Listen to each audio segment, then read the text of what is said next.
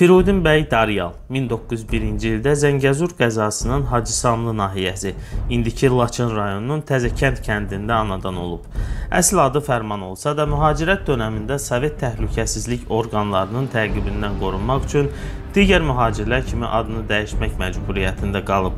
Ad olaraq əmisi oğlu Firudinin, soyad olaraq isə kəndlərində olan Daryal adlı ərazinin adını götürüb.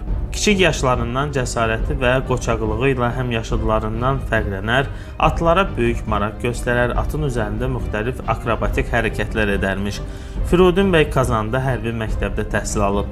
Daha sonra Azərbaycan Cümhuriyyəti ordusunun süvari alayında xidmət etmiş, alayın tərkibində Qarabağda gedən döyüşlərə qatılaraq Şuşanın erməni daşnaqlarından azad edilməsində iştirak etmişdir. Rəvayət olunur ki, Şuşada gedən döyüşlər zamanı Azərbaycan ordusunun mövqeləri yüksəklikdə olan erməni daşnaq dəstələrinin mövqelərindən pulemyot və top atəşinə tutulurmuş. Kəşfiyyatçıların verdiyi məlumatlardan bəlli olur ki, bir erməni zabiti bir neçə gündən bir ətrafında əskərlərlə ağ atın belində həmin mövqelərə gedərək baxış keçirir. Firudin bəy Daryal komandanlığa ona bir ağ at verilərsə, həmin mövqelərdə olan erməniləri zərərsizləşdirə biləcəyini deyir. Ağdamın Xındırıstan kəndinin bəylərindən birinə məxsus olan ağ atı ona verirlər. Firudin bəy Daryal ağ atın belində ətrafında da əskərlərlə birgə erməni zabitin getdiyi yolla erməni əskərlərinin yerləşdiyi mövqelərə doğru hərəkət edir. Gələnin öz zabitləri olduğunu zənn edən ermənilər heç bir reaksiya vermirlər və beləliklə Firudin bəy və onun əskərləri heç bir təhlükə gözləməyən düşmən əskərlərini anidən atəşə tutaraq məhv edirlər. 1919-cu ilin yanvar ayında keçirilən baxış yoxlaması zamanı Firudin bəyin xidmət etdiyi süvari alayı göstərdikləri igidliyə görə hərbi nazirin şəxsi təşəkkürünü alır. Yanvar ayının 15-i Qarabağın general qubernator vəzifəsinə təyin olunan Xosrov bəy Sultanov Firudin bəyin igidliyinə bələd olduğu üçün onu özünə köməkçi götürür. 1919-cu ilin mart ayında Qarabağ və Zəngəzurda düşmən təhlükəsi yenidən artır. Erməni daşnaq qoşun birləşmələri martın 21-dən 22-sinə keçən gecə Xankəndində yerləşən Cavanşir piyada alayının kazarmalarına qəfləti basqın edib daha sonra Əsgəran yolunu bağlayırlar. 22 mart tarixindən etibarən Xosrov bəy Sultanovun başçılığı ilə erməni generalı dronun qoşunlarına qarşı Əsgəran bölgəsində şiddətli döyüşlər baş verir. 2 aprel 1919-cu 1990-cı ildə dronun qoşunları məhv edilir. Firudin bəy həmin döyüşlərdə də igidlik nümayiş etdirir. 28 aprel 1920-ci ildə Azərbaycan Cümhuriyyəti süquta uğrayıb, bolşeviklərin işğalına məruz qaldıqdan bir müddət sonra Xosrov bəy Sultanov bolşeviklər tərəfindən həbs olunur. Firudin bəy həmin zaman Şuşada qubernatorluq binası üzərində dalğalanan üç rəngli Azərbaycan bayrağını doğma kəndi Təzəkənd kəndinə gətirib ailəsinə əmanət verir. Həmin bayraq uzun illər gizli saxlanılır. Çox sonralar 1988-ci ildə xalq hərəkatı başlayan zaman üzə çıxarılır. Nə yazıq ki, bayraq 1992-ci ildə Laçın rayonu işğal olunan zaman ailənin bütün əşyaları ilə bərabər Laçında qalır. Firudin bəy Daryal ailə üzvləri ilə vidalaşıb yenidən Azərbaycan Cümhuriyyəti ordusunun süvari alayına qoşulur. 24 may 1920-ci ildə başlayan Gəncə üsyanında iştirak edir. Cümhuriyyətin ikinci il dönümünə təsadüf edən və minlərlə insanın həlak olması ilə nəticələnən üsyan 31 may 1920-ci ildə Qızıl Ordu tərəfindən qəddarlıqla yatırılır.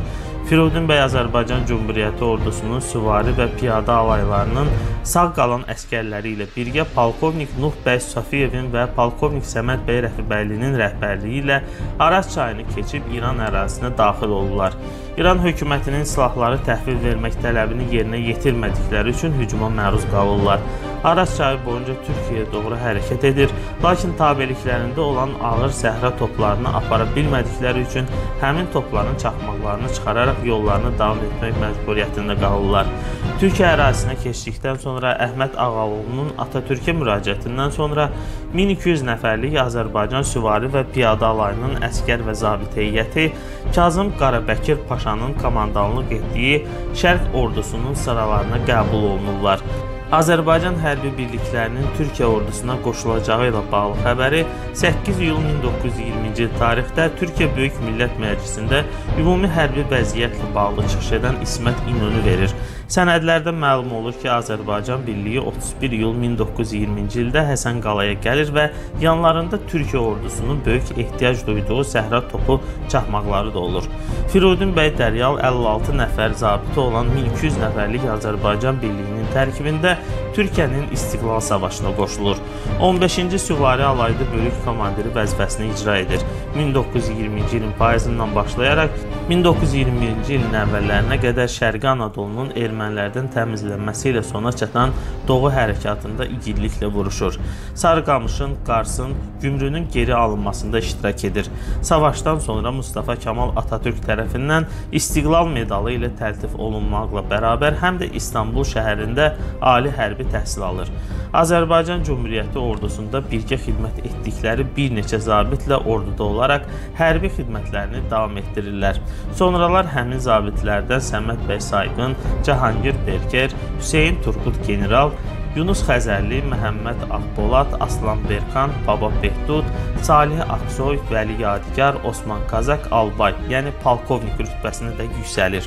Firudin bəy Daryal 1925-ci ilin fevral ayında Türkiyənin güney-doğusunda başlayan Şeyx Səid üsyanının yatırılmasında, Kürd aşirətlərinin başlatdığı üsyanlara qarşı 1926-cı ildə birinci ağrı, 1927-ci ildə ikinci ağrı, 1930-cu ildə üçüncü ağrı hərəkatında, 1937-ci ildə Seyid Rızanın başlatdığı Dersim üsyanının yatırılmasında iştirak edir. Sonralar yazar olan Əli Çaxmaq adlı keçmiş bir zabit Türkiyənin güney-doğusunda baş verən üsyanlar haqqında Cumhuriyyət qəzetinin 10 mart 1981-ci il buraxılışında yazdığı məqalədə Firudin bəy Daryal haqqında xatirələrini yazaraq onun qorxusuz, dərisov, mərd bir zabit olduğunu və atın üzərində qeyri-adi hərəkətlər etdiyindən bəhs edir. Türkiyə Silahlı Qüvvələrinin tərkibində bir zabit olaraq müxtəlif bölgələrdə hərbi xidmətini davam etdirərək albay rütbəsinə də yüksəlmiş xidməti dövründə bölük tabor, sonralar alay komandiri, İzmir və İstanbul şəhərlərində isə hərbi komendant vəzifəsinə qədər ucalmışdır. General olmamasına rəğmən 1950-ci illərdə Kazmanda vəkalətən Tuqay komandirliyi vəzifəsini icra edir. 1965-ci ildə təqaüdə çıxır. Təqaüddə olarkən İstanbul şəhərində yaşayır. Qafqaz Almanahı adlı əsərini yazır. Azərbaycandan və Şimali Qafqazdan olan mühacirlərlə sıx əlaqələr quran Firudin bəy həm də Qafqaz Dərnəyinin fəaliyyətlərində yaxından iştirak edir. Firudin bəy Daryal 2 dəfə ailə həyatı qurur. Birinci nigahını İstanbulda hərbi təhsil alarkən qurur. Həmin nigahdan bir oğlu və bir qızı olur.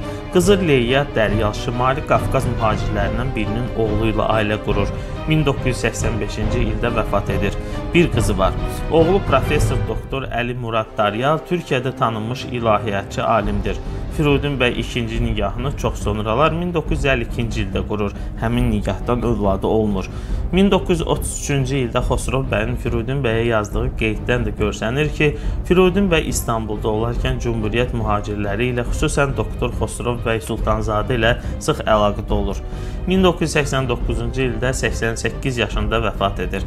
Cənazəsi xüsusi mərasimlə böyük hörmət və ehtiramla Qaraca Əhməd məzarlığında dəfn edilir. Vəfat etməzdən öncə baş daşına İstiqlal Savaşı qazisi Suvari albay olmasını 1901-ci ildə Şuşa şəhərinin 25 kilometrliyində yerləşən Təzəkənd kəndində anadan olduğunu və arkadaş başın taclı, altın taxtlı dahi olsa, millətin, vatanın olmadan bedbaxtın sözlərinin yazılmasını vəsiyyət olaraq yazır.